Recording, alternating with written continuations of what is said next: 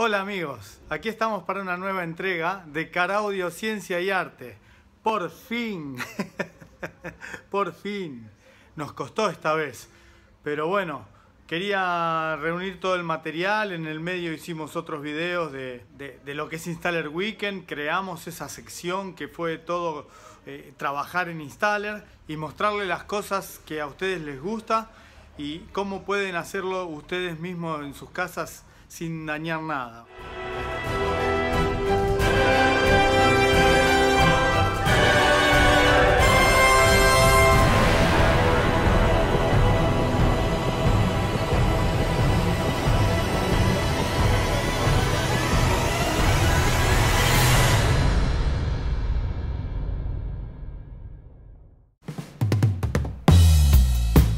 I am John, and I was born in London. Hoy voy a hablarles del sonido, algunas de sus características físicas y algunas de sus características musicales. Todos estos principios del sonido los tenemos que tener bien entendidos y bien arraigados dentro de nuestro conocimiento porque continuamente los vamos a ver. En el audio continuamente nos vamos a encontrar con frecuencias, con cortes, con octavas, con decibeles y todo esto necesitamos conocerlo para un car audio donde entendemos por qué pasan las cosas, o sea, eh, por qué se oye mal, por qué no llega a tiempo la música a mis oídos, por qué son tan fuertes los graves, por qué es estridente el agudo, o sea, todas esas cosas tienen una explicación.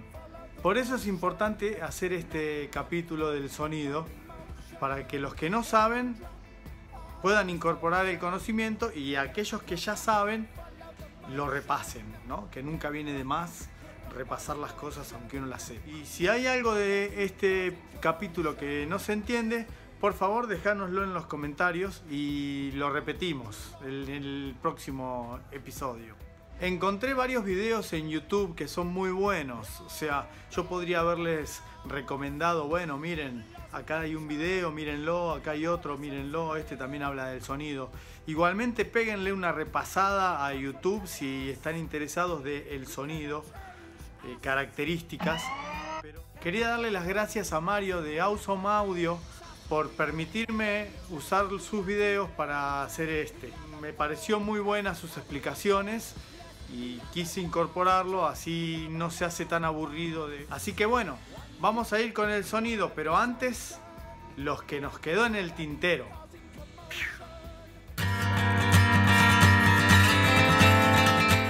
Algo que me quedó por decir la vez pasada, muy interesante, acerca del sonido y de la frecuencia y de cómo nuestros oídos detectan el sonido, es que ustedes saben por qué nosotros eh, no podemos detectar de dónde viene el sonido cuando canta un grillo. ¿Eh? Ahí se las puse difícil, ¿eh?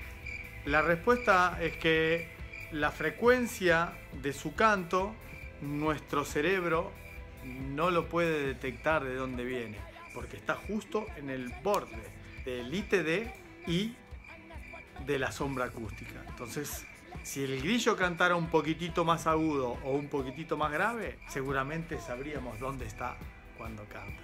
Y no que canta de toda la habitación. Curioso, ¿no? Have you ever seen a cricket doing cri cri cri cri cri? Maybe it's stupid, but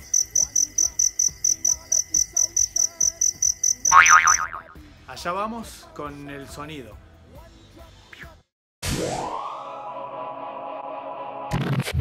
El sonido es un fenómeno físico que se propaga en ondas. Las ondas se propagan en un fluido, en este caso el aire, y su comportamiento es muy similar a cómo se propaga la onda en el agua. Cuando un objeto, como una campana, vibra, empuja y jala partículas de aire frente a él. Si pudiéramos visualizar el sonido, se vería como en la animación de arriba. La onda de abajo es lo que usualmente imaginamos cuando pensamos en una onda de sonido. Durante su movimiento hacia enfrente, el objeto empuja las partículas de aire creando una región de aire comprimido o alta presión. Al mismo tiempo, durante el movimiento hacia atrás del objeto, este jala partículas de aire creando una región de aire expandido o baja presión. Es importante mencionar que las partículas de aire como tal no se trasladan, sino únicamente vibran en su punto de equilibrio.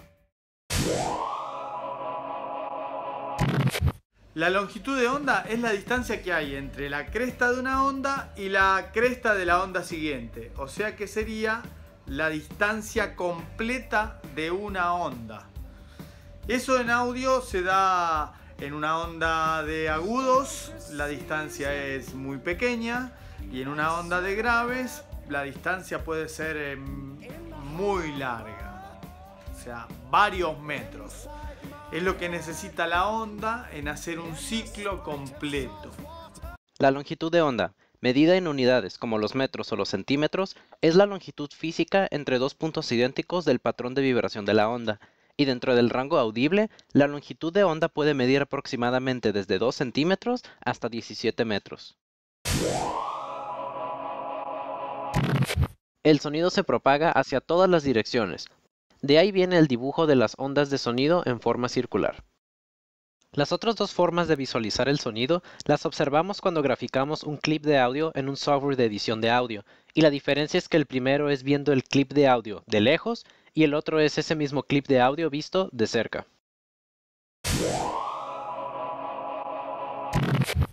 La velocidad a la que viaja una onda de sonido depende del medio en el que se propaga y de la temperatura de este medio. Para aire seco a 20 grados centígrados, su velocidad es de aproximadamente 343 metros por segundo o 1234 kilómetros por hora. ¿Para qué nos sirve saber la velocidad del sonido? En el auto nosotros tenemos un parlante más lejos que el otro y muchas veces del mismo canal, o sea que tenemos el midbass más lejos que el Twitter porque están a distinta distancia. Entonces la velocidad del sonido nos sirve para calcular y darle al parlante que está más lejos el delay necesario para que llegue al mismo tiempo al oído.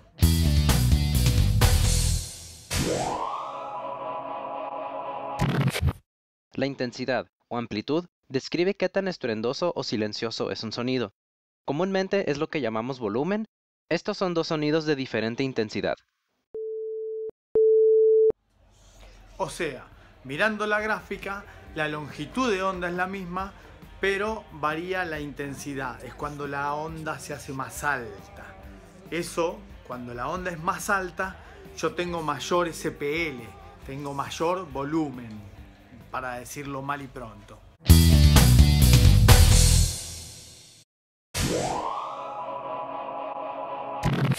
Es simplemente cuánto tiempo dura un sonido desde que lo comenzamos a percibir hasta que dejamos de escuchar sonido alguno.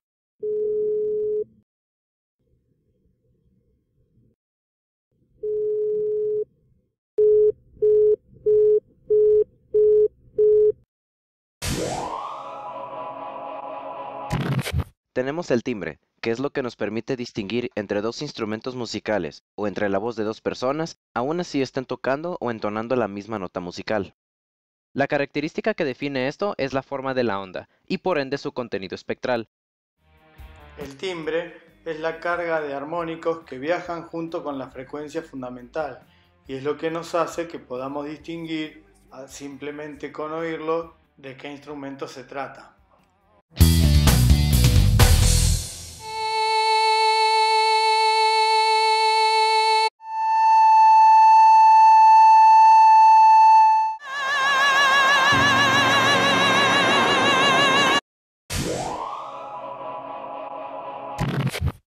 Frecuencia significa cuántas veces se repite el patrón de vibración de un sonido periódico en un solo segundo. Una onda de baja frecuencia tiene una vibración relativamente lenta y por lo tanto una longitud de onda larga. Y una onda de alta frecuencia tiene una vibración relativamente rápida y por lo tanto una longitud de onda corta. Traducido al lenguaje coloquial, sería la cantidad de ondas que pasan por minuto y eso se mide en hercios. O sea que la frecuencia es, valga la redundancia, la frecuencia con la que las ondas pasan por un segundo. Eso lo vamos a ver en el car audio en todo momento. Las ondas más cortas, que son las de los agudos, que son las ondas que vienen juntitas, así, eh, pasan muchas veces en un segundo. Y las ondas más grandes, las de graves, pasan pocas veces en un segundo, son de movimiento más lento. Nosotros, ¿podremos oír todas las ondas sonoras que hay en la naturaleza? ¿Qué creen? ¿Oímos todo? No, no, claro que no. Nosotros como seres humanos no podemos oír todo el espectro de frecuencia, solo oímos lo que se encuentra dentro del rango amarillo, entre 20 y 20.000 Hz. Hay animales como los murciélagos y los delfines que pueden oír por sobre los 20.000 Hz y animales como la ballena y el elefante que pueden oír por debajo de los 20 Hz. Hay dos maneras de dividir las frecuencias en grupos. Una es en tonos, graves, medios y agudos, que es lo que vamos a escuchar ahora, y la otra es en octavas.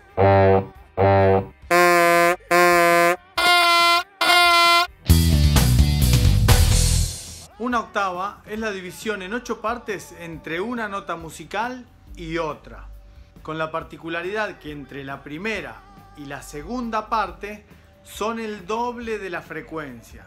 Eso quiere decir, por ejemplo, que a 440 Hz, que es el La del diapasón, una octava mayor sería 880 Hz, el doble de la frecuencia, una sola octava.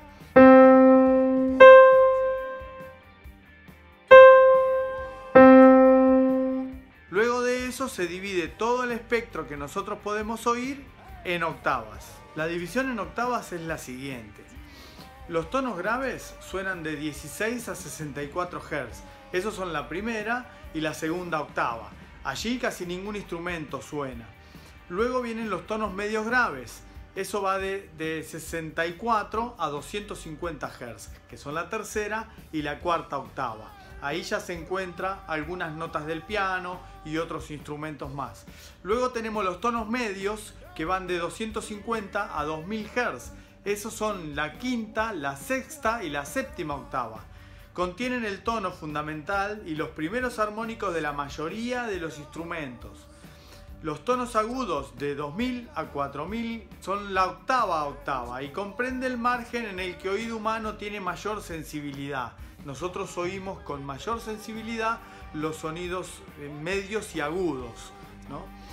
Tonos agudos van de frecuencia alta de 4000 a 16000 Hz y estos son la novena y la décima octava. Prácticamente no se utilizan para hacer música. Suenan ahí algunos armónicos de, de algunos instrumentos. Y los tonos más agudos son del espectro audible, van de 16 a 20.000 Hz, que son la undécima octava. No todas las personas son capaces de percibirlo porque depende de la sensibilidad del oído de cada uno. La gente con la edad va perdiendo audición, ¿no es cierto? Ustedes saben que un, niño o un joven no oyen de la misma forma que un adulto o un adulto mayor, o sea, eh, con la edad se va perdiendo la audición y básicamente en las frecuencias agudas. Bueno, hasta acá llegamos. Ya no quiero que se haga más extenso, así que dejamos algo para el capítulo que viene. Si te gustó el video, déjame tus comentarios y aparte puedes darle like. Estamos haciendo video todas las semanas, así que suscríbete a nuestro canal y activa la campanita que te va a avisar cuando vienen los próximos. De nuevo voy a decirte que somos Installer, somos un local de car audio en Argentina, en la calle Warnes 916. Puedes buscarnos en Facebook, ahí vas a encontrar nuestros trabajos, ahí vas a encontrar eh, cómo nosotros nos comunicamos, puedes hablar con nosotros, pedir presupuestos, eh, preguntar precios y todo lo que quieras. Y gracias YouTube por todo lo que nos das. ¿Por qué te No importa, para hacer algo distinto, gracioso. Ah, Me cortaste la onda. Y gracias YouTube por todo lo que nos das. Suscríbete.